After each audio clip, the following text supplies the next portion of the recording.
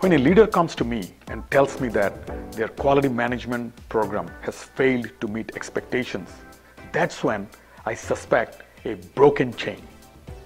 A robust management chain that has four links. First is commitment. Every member of the management team must align with the program deployment.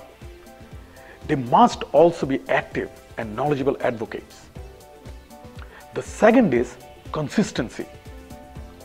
Management must monitor every aspect of the deployment very closely and ensure that personal and financial resources are available when needed. The third is competency. Management must have full understanding of the process.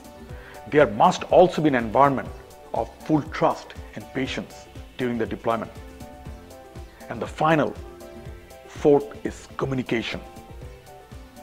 There must be full and open communication by whatever means available to encourage two-way communication, good or bad, with all members in the organization.